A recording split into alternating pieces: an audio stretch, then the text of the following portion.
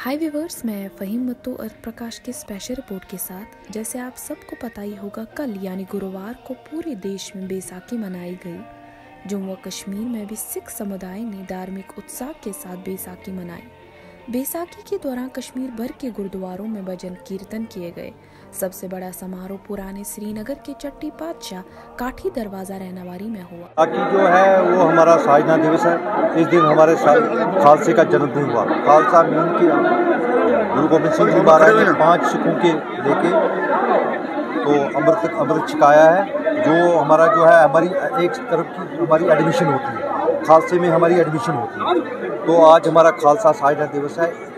गुरु गोबिंद सिंह जी महाराज ने अनंतपुर साहब में इस दिन, इसी दिन खालसा खालसा सजाया था।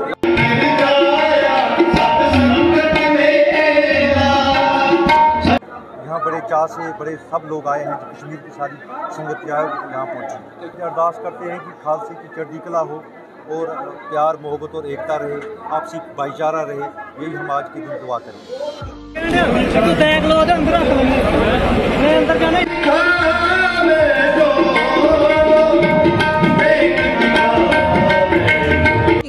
का दिन जो है दैट इज़ खालसा साजना दिवस। आज के दिन हमारे जो दसम पिता हैं, गुरु गोबिंद सिंह जी महाराज, जो सिख कम्युनिटी के या आप कह सकते हैं पूरी की पूरी ह्यूमैनिटी के टेंथ गुरु या टेंथ मास्टर हैं, उन्होंने आज के दिन खालसा पंथ को उसकी फाउंडेशन ले की थी। इस तरह कह सकते हैं कि खालसा पंथ की सृजना आज के दिन हुई थी, जिसका जो मुड है या जिसका जो फाउंडेशन है, वो गुरु नानक पातशाह, जो हमारे पहले पातशाह उन्होंने उन्होंने ले की थी।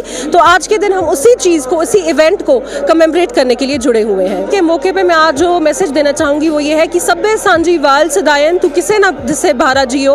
एक पिता, एकस के हम बारक, तू मेरा गुरहाई। मतलब कि जो भी आपके दिलों में बिटरनेस है, चाहे वो किसी कास्ट के लिए, किसी कम्युनिटी के लिए, उसको ख़त्म करके काम let's celebrate it together let's commemorate this day together and let's be harmonious and let's be peaceful updates व बड़ी खबरों के लिए सब्सक्राइब करें आज प्रकाश टीवी और बेल आइकन दबाना ना भूलें।